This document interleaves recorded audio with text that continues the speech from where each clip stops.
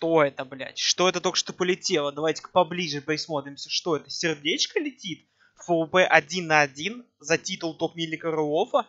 Хм, достойный шаг, достойный шаг, Лискейт. Ну что же, я посижу на троне топ-миллика Рулофа, пока Шазам АФК.